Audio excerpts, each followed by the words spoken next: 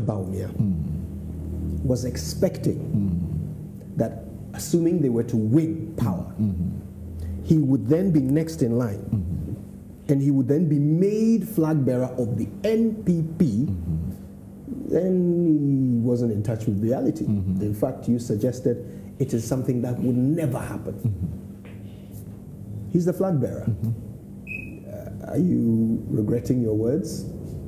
No, not at all. I mean, congratulations to him uh, for emerging as the flag bearer of the of the NPP. Uh, we say that uh, we in the NDC welcome it because uh, uh, we are not being complacent, but uh, we are totally sure that we are facing um, a damaged candidate, a candidate that has been exposed for who he is a candidate who uh, made all kinds of pretenses, uh, created the impression that he was some kind of economic messiah.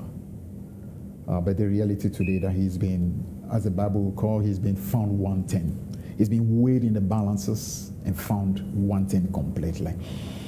Worse than that, uh, not just that he's, um, he's been exposed uh, for just being shall I call it blabbermouth, somebody who basically talks a lot but does very little. He's also been shown to be somebody who cannot be trusted, uh, somebody who cannot, who has gotten very low levels of credibility. Now, so uh, work, meeting him uh, into in the 2024 is actually we welcome. Now, am I surprised that he emerged as a candidate of the of the NPP? I would say no, I'm, I'm, not, I'm, not, I'm not really surprised because uh, the person who obviously would have, um, let's say it this way, the person who actually would have been the one to take over from Nana Akufo-Addo from the readings, and if you understand the NPP's working configuration very well, was supposed to be Alan Kyerematen. Uh, it moved from Kufuor to Nana Akufo-Addo.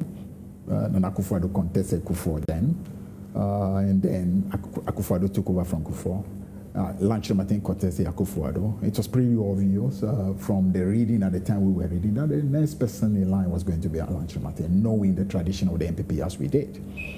Uh, so what we said at the time was something that we believe was the case. And uh, we still believe that if Alan Kyerematen had remained in the race, possibly it could not, it could have been a different ball game. But as it were, uh, he pulled out. And naturally, once he pulls out, it gives some kind of advantage uh, to Dr. Bawumia.